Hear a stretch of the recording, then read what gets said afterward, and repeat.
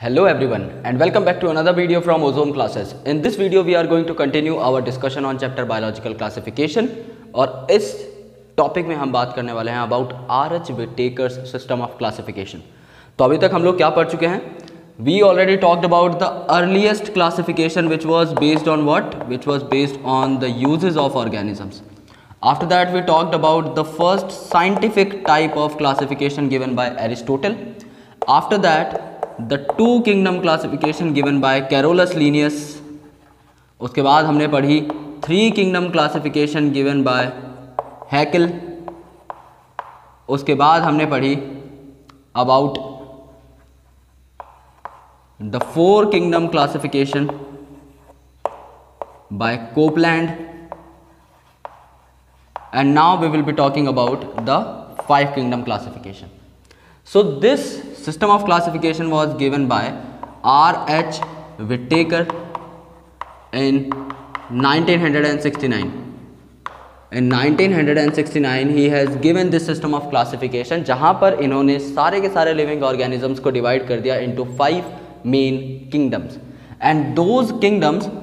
were divided on the basis of some major characters so i'll be telling you those characters और उन character के हिसाब से किस तरीके से उन्होंने अपनी जो किंगडम्स है वो बनाई, उसके बारे में भी मैं आप लोगों को बताने वाला हूँ। So the very first and the first basic kingdom was Monera all right so Monera was the first kingdom given by R H Whittaker after that Protista was the second one third one was Fungi which was new introduced kingdom in case of R H Whittaker system because this was given by Copeland this was given by Haeckel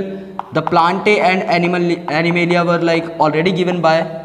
the previous scientist Plantae और Animalia के बारे में सबको पता था so they are also already given now this is something really crucial जो कि हमारे पास नई नई आई है in case of R H Whittaker system of classification so these are the five kingdoms इनमें कौन कौन से इंडिविजुअल्स आते हैं, उनके बारे में बात करेंगे on the basis of characters so the very first character is the let's a type of cell और we can say that cellular structure so the so, the cellular structure can be prokaryotic or it can be eukaryotic. So, the monera were prokaryotes, बाकी सारे के सारे जो थे, eukaryotes थे। क्योंकि Monera में क्या क्या आते हैं? मोनेरा में आपके आते हैं archaebacteria and eubacteria and we know very well that these bacterias are you know prokaryotic in nature इनमें वेल डिफाइंड न्यूक्लियस नहीं होता। So Monera was the most primitive kingdom जिसमें कि आपका वेल डिफाइंड न्यूक्लियस नहीं था। सो इट इज़ प्रोकैरियोटिक बाकी सारे के सारे आपके यूकैरियोटिक ऑर्गेनिजम्स थे। So this was on the basis of cell structure. Now the body organization. Body organization means whether the cell is unicellular or multicellular in nature. So the monera are what? They are unicellular prokaryotes. So unicellular prokaryotes थे आपके monera, तो ये unicellular हुए. The protista is what? More developed than monera. तो यहाँ पर आपके सारे के सारे जो unicellular eukaryotes थे, they were the part of protista so, they were also unicellular. In case of fungi plant and animalia, they were multicellular in most of the cases. ऐसा नहीं है कि एक्सेप्शनल केसेस नहीं है इनमें. For example the Saccharomyces cerevisiae और the basic yeast which you talk about वो जो ईस्ट है, ये आपका यूनिसेलुलर होता है. In Plantae there were some minute algae which are unicellular so ऐसा नहीं है कि इनमें सारे मल्टीसेलर हैं but this is very true for Animalia that in animal kingdom all the animals are strictly multicellular you cannot say that an animal is unicellular that is not possible all right so ये सारे strictly multicellular होते हैं and ये majorly multicellular होते हैं but they have some sort of exceptions all right so यहाँ पर body organization आती है then third is your mode of nutrition so mode of nutrition is also there whether they can synthesize their own food or not so in these two some of them can synthesize their own food some of them cannot plantae we know very well that they show photosynthesis so they are obviously going to synthesize their own food monera में आपके cyanobacteria भी होते हैं blue green algae so they can basically synthesize their own food no issue in that fungi are basically saprophytic or parasitic in nature they basically depends on dead and decaying matter for their food so they are basically heterotrophic in nature animalia basically shows holozoic mode of nutrition so they are also heterotrophic ये खुद का खाना खुद नहीं बना सकते they basically depends on plantae kingdom plantae for their nutrition so they cannot make their own food so on the nutrition they are divided in such way then fourth one is the modes of reproduction okay modes of reproduction is something that is considered by R.H. Whittaker. So there are a lot of modes of reproduction that you will specifically see जब आप इन kingdoms की बात करेंगे just after the introductory session just after the completion of all these classification systems हम लोग बात करने वाले हैं about each and every important thing that is related to these kingdoms हम मोनरा को डिटेल में पढ़ने वाले हैं. We are going to do the detailed analysis of archaebacteria we are going to talk about Monera and eubacteria in that okay क्योंकि eubacteria are the main members उसके बाद हम प्रोटिस्टा के बारे में बात करने वाले हैं. All its you know sub parts उसके बारे में भी हम लोग बात करने वाले हैं। सो so, वहाँ पर you will get to know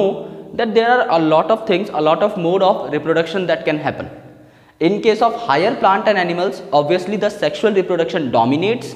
but in case of lower organisms asexual reproduction is main kind of reproduction that is shown for example Monera आपका बैक्टीरिया है कैसे डिवाइड करेगा? Obviously it will divide by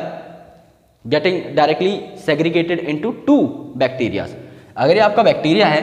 ये आपका main bacteria है it will directly form two daughter bacterias there is no sophisticated processes like gamete formation gamete fusion fertilisation embryonic development this all things does not occur in a simple bacteria और simple Monera but those kind of things basically occur in case of Animalia if you will talk about the human beings you will find a lot of new things आपको पता लगेगा that there is gametogenesis in male it is spermatogenesis in female it is oogenesis after that the gametes were transferred okay at a particular point they meet and fertilize. After the fertilization there is formation of diploid zygote. After that this zygote will you know divide itself and it will differentiate itself to form the whole plant or animal body. So all these kind of things were dominated in case of plantae and animalia. But there are still some lower animals and plants which basically shows asexual reproduction in fungi there are you know a lot of asexual spores by which they reproduce so काफ़ी सारे methods यहाँ पर हो सकते हैं. There can be spore formation there can be budding there can be regeneration there can be fragmentation there can be binary fusion there can be multiple fusion there can be sporulation encystation all this kind of things can happen vegetative reproduction हो सकता है plant में. अलग अलग type से with the help of different vegetative propagules that we have already talked about in chapter one of twelfth class काफ़ी सारी चीज़ें यहाँ पर हो सकती हैं तो उसके भी बेसिस पर कंसिडर किया गया इन सारी चीज़ों को। फिफ्थ आपका जो सबसे इंपॉर्टेंट चीज़ है that is the phylogenetic division okay phylogenetic it means that the evolutionary relationships were taken into consideration कौन एक दूसरे से इवोल्यूशनरली कितना ज़्यादा रिलेटेड है? On the basis of that some important categories were made according to R H Whittaker in year 1969 sixty nine and those important categories were were Monera, Protista, Plantae and and Animalia. Alright? So यहाँ से जो important characters हैं वहाँ पे question NEET में आया हुआ है पहले हालाँकि उस क्वेश्चन में थोड़ी बहुत गड़बड़ी थी सो बोनस चला गया था लेकिन सबसे इंपॉर्टेंट है इसके कैरेक्टर्स प्लस